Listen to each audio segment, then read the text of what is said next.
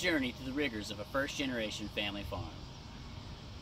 So follow us today as we take a trip to a small organic farm in Oita, Japan.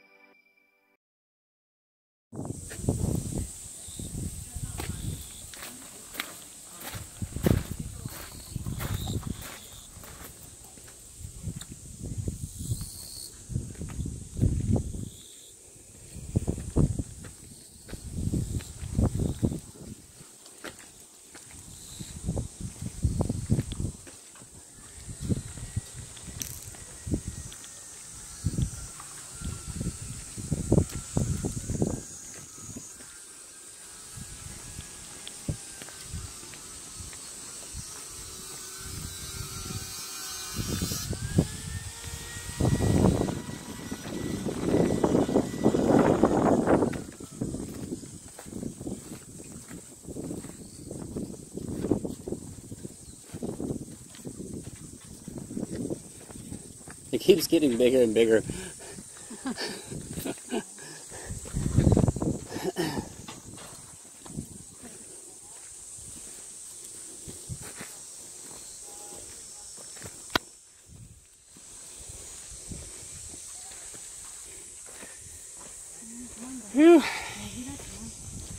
Mountainside farming.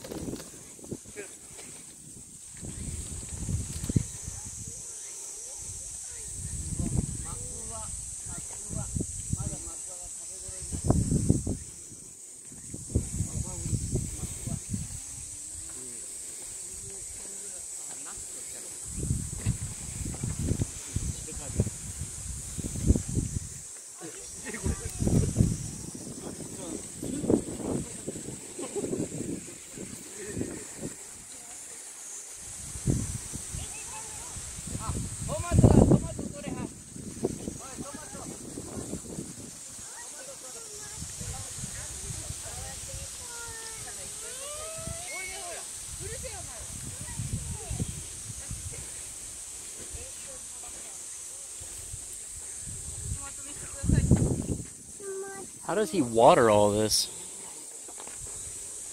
Careful. Careful. Oh, see that monkey. Monkey destroyed that one. Mm. Oh, monkeys. That's what it was. He had, he had to put the nets up to keep the monkeys out. He put the net, but the uh, They he found, teared up the net's gonna come up. they found a new way.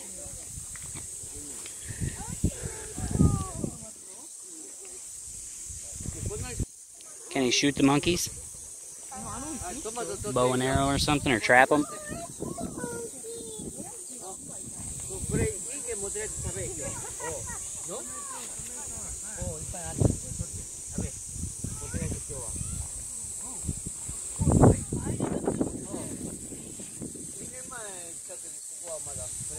This is a 100% organic farm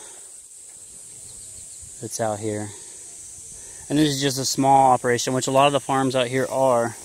There's not a ton of commercial farms in Japan, at least in the areas that we traveled to. Um, we lived in Japan for five years.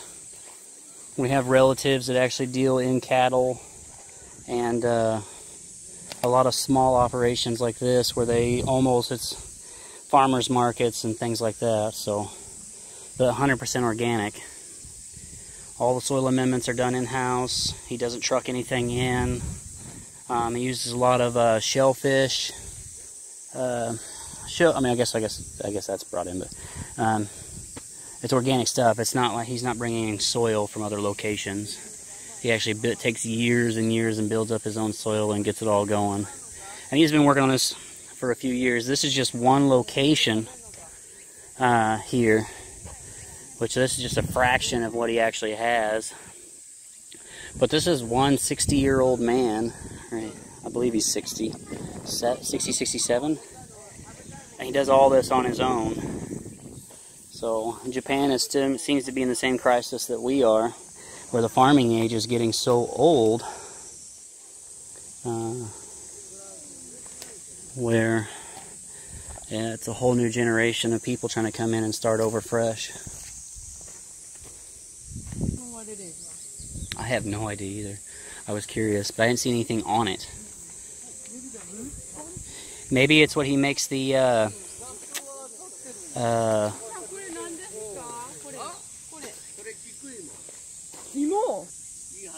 へえどあのきんぴらにするんよごぼうとは what do they make with it? 薬用や potato Potato.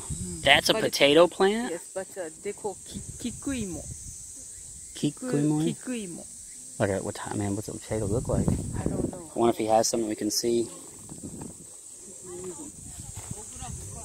So it's kind of neat. He, did, he digs trenches to hold the water in, huh?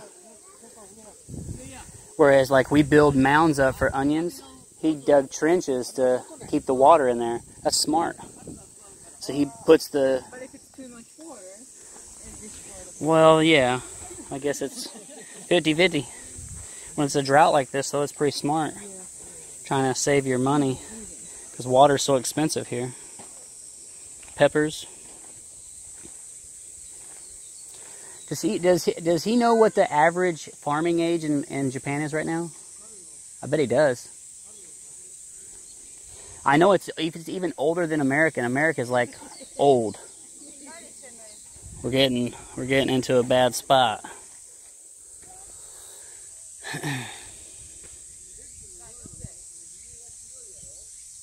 So one guy does all of this by himself. And you know, if it was a young guy, I guess that'd be one thing, but this is one guy that's that's up there in age. Um, and he's getting it done. Another type of melon of some sort. He's got a little bit of everything going on out here. Just gorgeous, just the amount of effort that goes into it. And uh, so the nets, I guess, and you probably heard it a while ago, was the nets are actually for the monkeys. He, uh, the family here owns a big portion of the mountain, and uh, this region, it's in like the nor, it's in like the mountainous side of Oita, Oita. actually has uh, a lot of monkeys, wild monkeys here. So uh, even though he puts the nets up, it only deters them a little bit. There's a few of them that, I mean, they're primates. They're pretty smart. They've figured out how to get through the nets, and they actually eat his pumpkins and stuff and his corn and tear up his plants. So it's just amazing uh, that they don't like have problems with the monkeys attacking people. All of this is on a mountainside. So I mean, he makes this walk up from his house, which I mean, I guess it's not that far, but it's far when you gotta drag all this. I mean, just think of the sheer amount of effort and hours that went into dragging all this stuff up here. I mean, there's just tons of stuff. All these poles, all these nets, all this equipment, wheelbarrows, planting pots, everything. All drug up here by hand.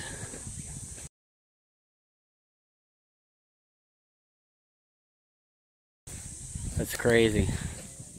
And it's not crazy, but it's it's a lot, a lot of effort. What is going on here? Oh, it's his compost pile. So this is his compost pile slash worm bed. It's a pretty rocking little idea.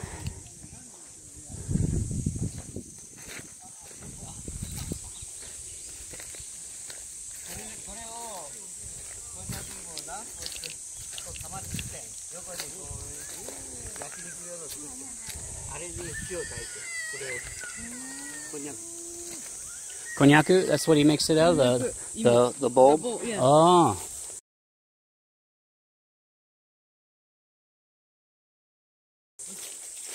You said it takes 10, 10 years? How, many- how many years?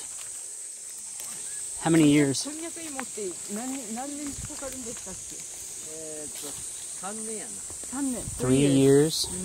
3年でな1キロ1キロぐらいになる4年目になったらもう2キロぐらいになるこれやん、うん、こんなん自己雪やん。これがこれぐらいの植えてんね。んじゃあ今年はこれぐらいなの。1.5ぐらいまでなるわ。あのでっかいやつ。ほんで大体こんこんにゃく植えるときに斜め45度に4針そのままあの上に向けて植えたら水が入って腐るけ斜めにこう植える玉をうん。で深さが10センチぐらいかこれから下にでまあこんにゃくのミシミシってミシミシ。芋がこう3つ入るぐらいの広さに植えてる、うん、で日が1日当たってたらダメ。あのー、できればもう日陰半日日陰のところ 昔前が向こうで植えてったんやそしたら彼氏も全部 So it takes three years to grow it, and then grow it, but it- when you plant it, uh, konjaku, you have to slant it to uh, 45 degree. Otherwise, it dissolves so much water, and it will kill. it. bust. 取ってからあオクラだ。これが美味しいんやちっちゃいのが美味しいこのちっちゃいの Tastes best when they're small. Mm. Yeah. Same thing in America. Mm. once they get too big, they don't taste good no more. They just become gooey, too gooey.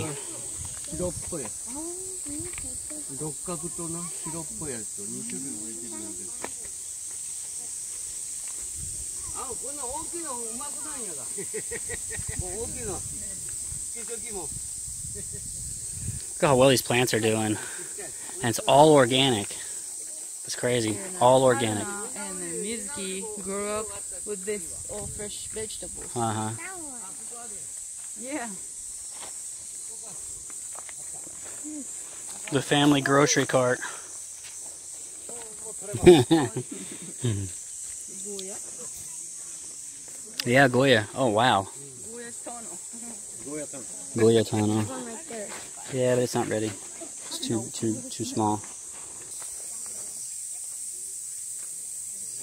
Dad was a the farmer. So Yuki grew up everything fresh food. His dad was a farmer. Then he farmed on the side. So basically, essentially, what we're doing, but just on a different. Oh, his dad was a farmer. Okay, I see what you're saying. So Yuki's uh, Yuki's uh, grandfather was a farmer, so he got his dad got to learn a lot of stuff. And then now that he's retired, he's putting it all to work. Which, I mean, if you look at what all's happening here, he's not retired. This is a lot of work. Lot.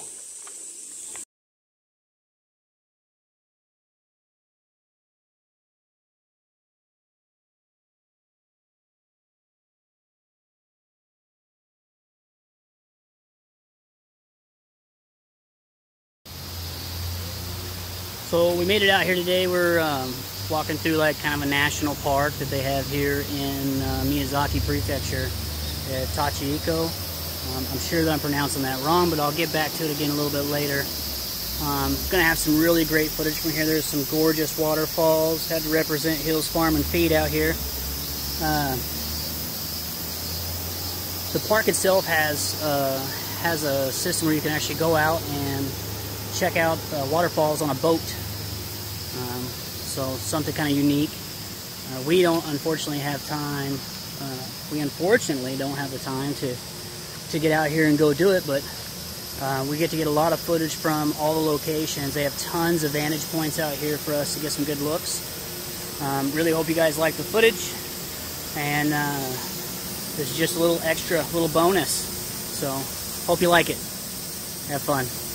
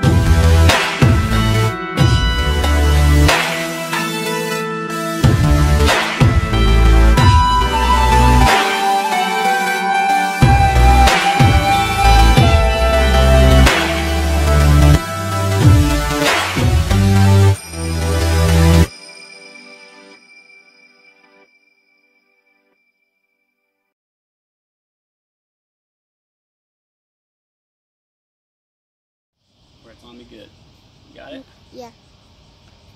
All right. Hello, I'm Dennis, and welcome to Arigato Farms, uh, where you can take. God, Ari, it's gonna take me a second because it, it's tough, huh? It's a lot harder than it looks. Okay. Our journey through the rigors of a first-generation family farm, where you can see the rigors. Where you can, ah, where you can see our journey through the rigors of a of a. Ah. All right. Where you can see our where you where you can see our journey through the rigors of a first generation family farm. Pause for a second. All right, ready? Mhm. it's tougher than it looks. All right, where you can